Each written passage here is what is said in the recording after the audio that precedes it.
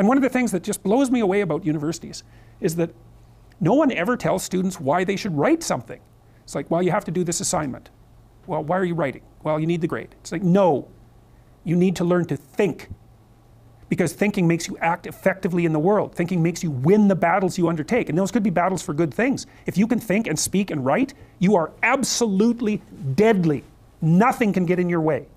So that's why you learn to write. It's like, and I can't believe that people aren't just told that.